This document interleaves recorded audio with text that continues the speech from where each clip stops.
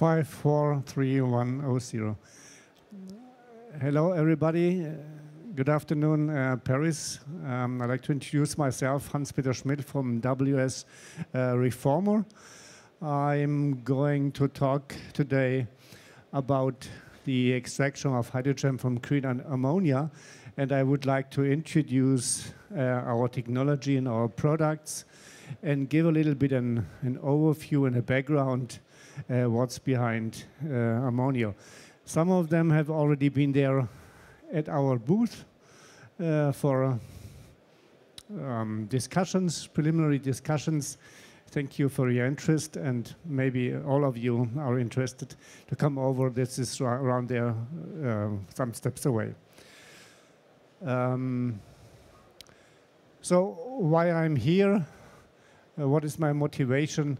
Uh, in fact, I like to answer to you answer um, some questions which occur in most of the studies I, have read. If you're dealing with ammonia, it seems to be quite new, and there are many, many studies at the moment from a theoretical point of view, if ammonia is a good hydrogen carrier or how is it compared to other options like uh, liquid, uh, liquid hydrogen or uh, liquid organic carriers.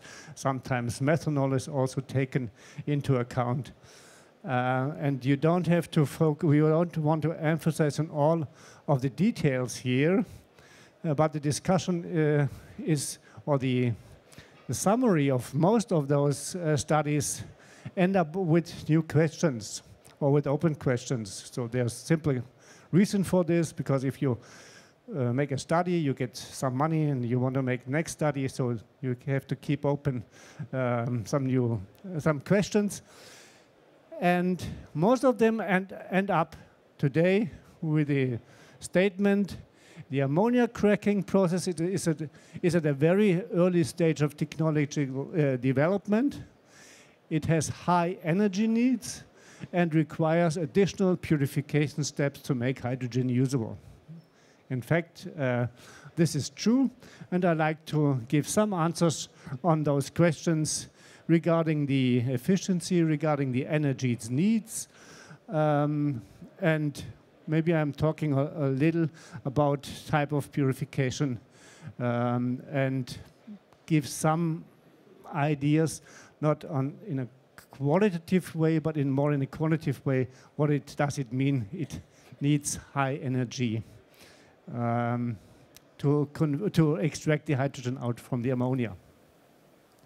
Short background about uh, us, about our company. We're a mid-sized company based in the southern part of Germany, I would say in the automotive technology region around Stuttgart, uh, which is in the southwest of Germany. And by the way, it's closer to Paris from Stuttgart than to Berlin. Uh, that was I, rec I, recognized yesterday when I came by train. Uh, we are a mid-sized company, privately owned, with um, with the shareholders working in the companies. Uh, and the group consists of a number of companies here, and the money is made by WS Wärme Prozesstechnik, and they are selling industrial burners based on FLOX uh, technology. This is a special combustion technology which has been invented, invented uh, and developed in our company. In total, we have got about 160 people and an, av an average revenue around 40, 30 to 40 million per year. WS Reformer uses those kind of burners in, in our um, steam reformer technology, technology uh, and I've been in the field since 20 years. The company has been was has been founded uh, was founded in 2003, so we have our 20 years anniversary. So some people called me call me a dinosaur in this area, uh, but the dinosaurs uh, which survived all the ups and downs over uh, the years. Uh, our sister company eFlox, um, they're building those kind of containers, complete small-scale plants. Uh, they are engaged in France mainly in the field of biogas, off-gas um, usage and most lately, most recently, we founded a German company, BTX, and they are doing business development.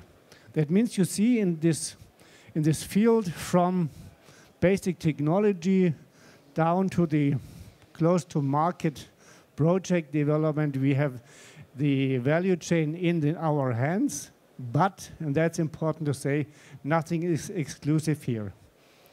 So we can, we can sell every, to everybody reformers, we could sell everybody's plants, uh, and BTX uh, is trying to establishing as a project developer or an engineering um, planning partner. So now no exclusivity here, so we are absolutely free for, to everybody. So to step into the ammonia topic, I would like to start with the perspective of a project developer. Say a, a municipality or somebody who likes to operate fuel cell buses uh, because they find it cool. They, um, they, they have the option to use, let's say, 20, 15 to 20 buses in their, in their community. And they say, okay, this is a way for to, or one step to decarbonization. And the question then occurs, how do, how do we get the hydrogen for the buses? And one option is ammonia. Ammonia is a commodity which is used in the fertilizer industry. It's a liquid at, let's say, 10, about 10 bar. You can purchase, order those kind of vessels with up to 15 ton uh, liquid hydrogen containerized um, units. Um, then if you come to the fueling station, HRS means hydrogen um, refueling stations, just go around here, you'll find at least, I would say, 10 companies who are willing and who are able to deliver hydrogen, complete hydrogen refueling station uh, equipment. That includes compressor, that includes storage, and so on, and the, the dispenser itself. So that's not our, uh, our job here, but we know what, what the interface should be. And we're talking about the reconversion unit from the liquid ammonia um, to the hydrogen fuel refueling station interface.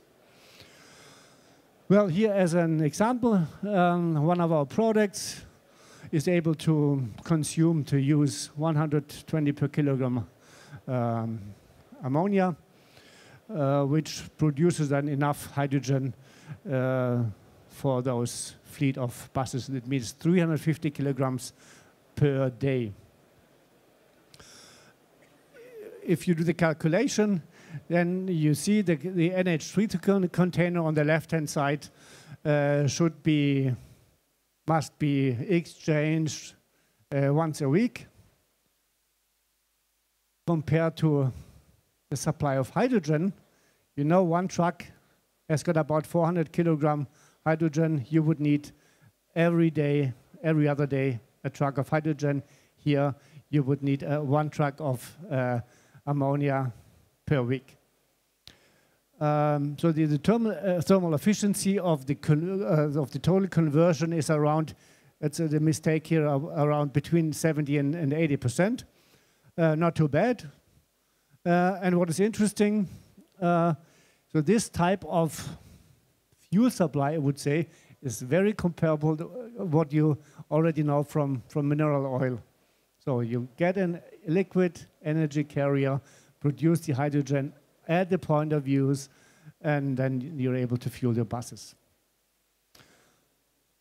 One step back, what is behind the technology, in order to give you a first impression, uh, that comes from our steam reformers small-scale steam reformers. And in fact, the steam reformer or the cracker consists of a furnace. This is the blue box here. And in the furnace, there's a number of reactors. They are operated at elevated pressure. And the reactors are heated by central, or a number of reactors are heated by um, FLOX burners.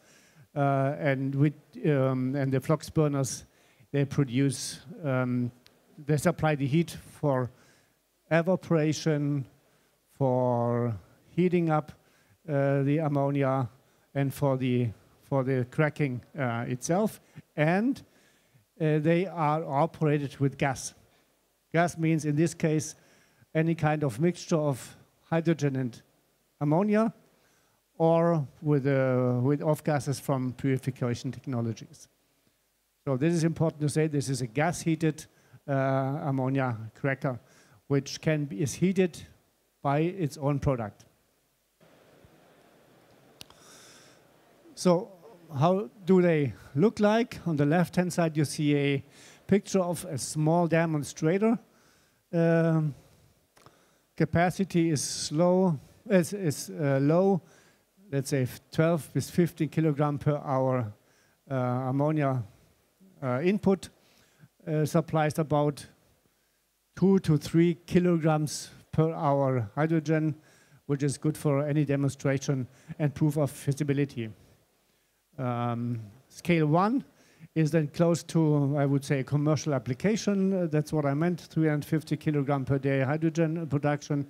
Uh, the unit size here is about, in footprint, well, it fits, it fits this, this carpet floor here where I'm standing on.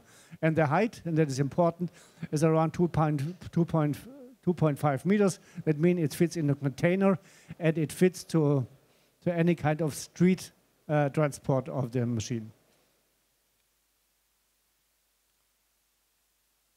So, but this is only one, one component in the whole chain.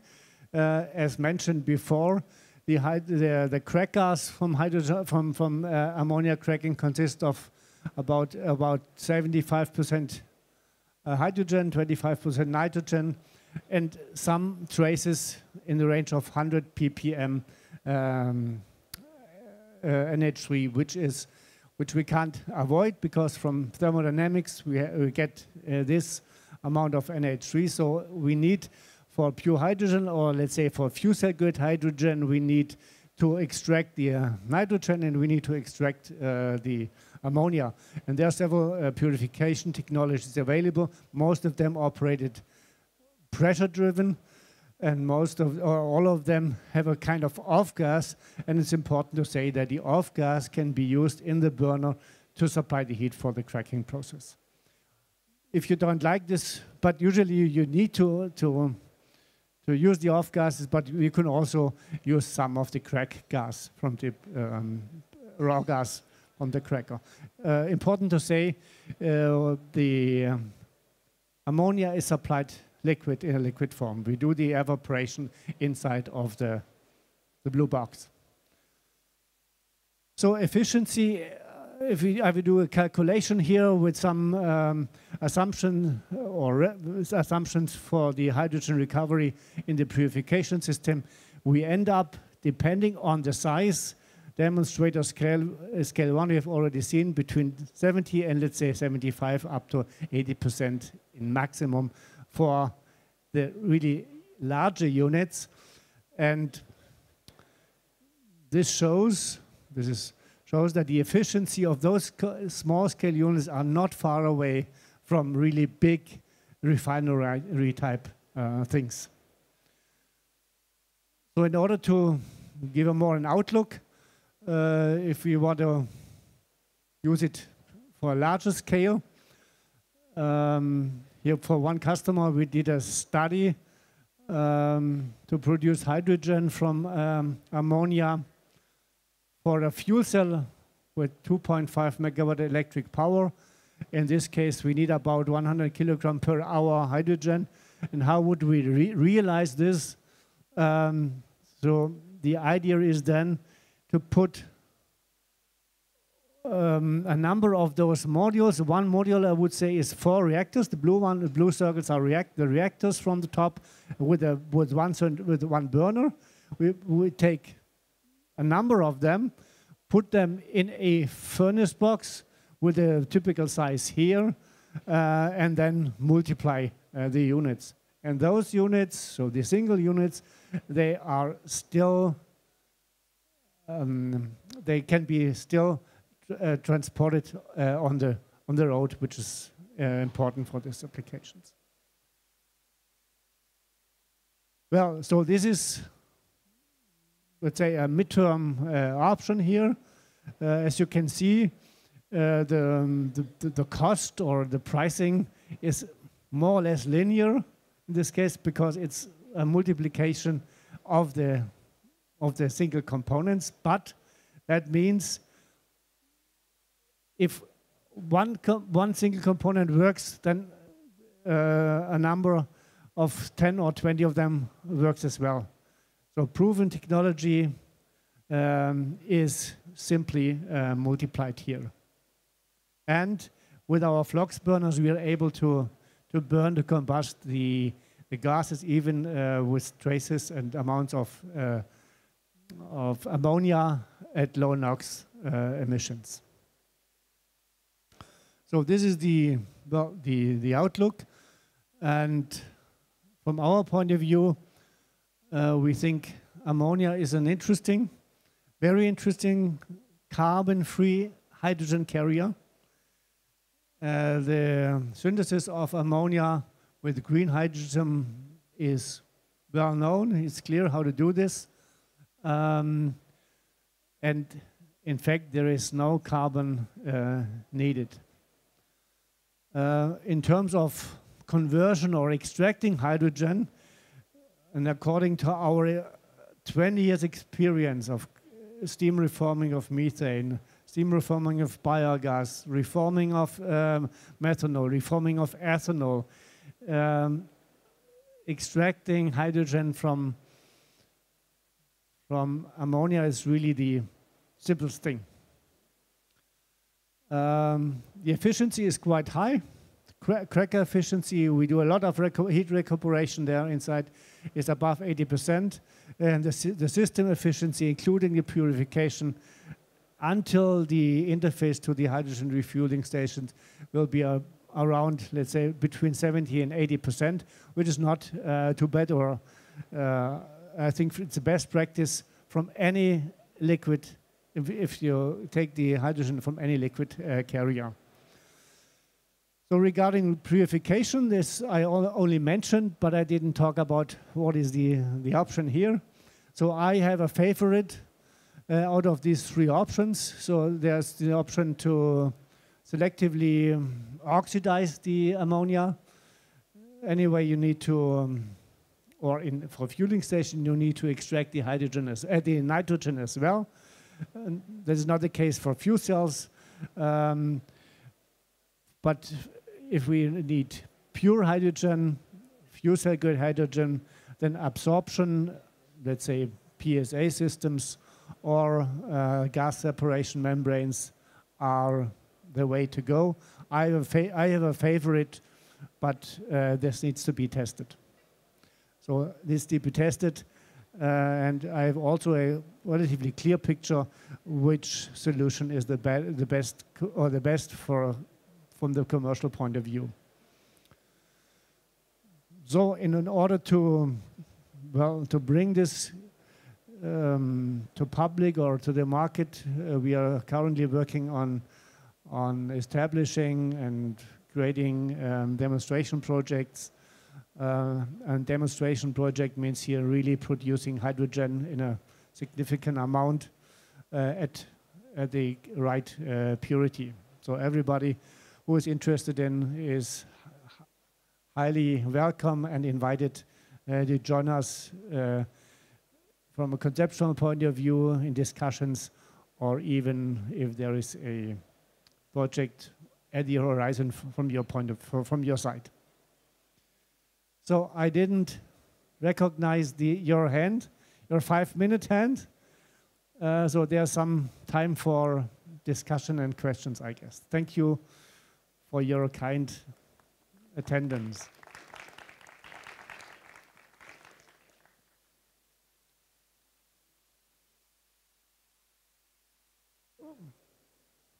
If there's a question, then you get a micro, don't, don't you? How this, does this work?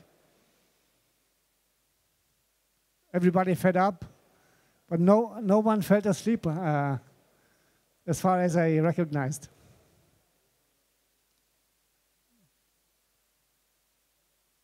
So there's one question. Yeah, thank you. You. I love it. Just to uh, have uh, your vision about uh, what is the time we need to, to deploy it uh, really uh, as, as a common way today. With respect to the, what you have presented today like- are, are, are preliminary pilot uh, initiatives, but uh, what is your feeling about uh, Nine months. the democratic one? Nine months. Nine months? Really? Th- That is that is the shortest time we are uh, we are able to deliver. But let's say, um, along with the engineering partners to, to, to really deploy a complete project, it will take much longer. But our delivery time is at the moment is nine months. Thank you.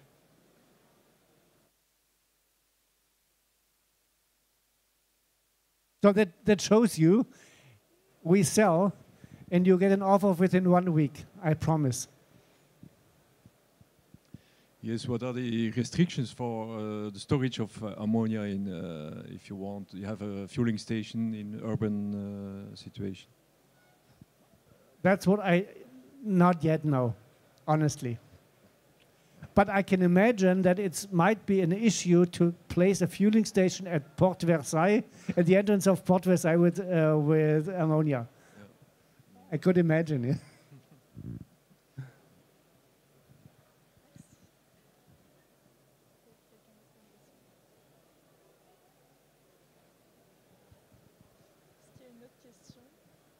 Okay, thanks.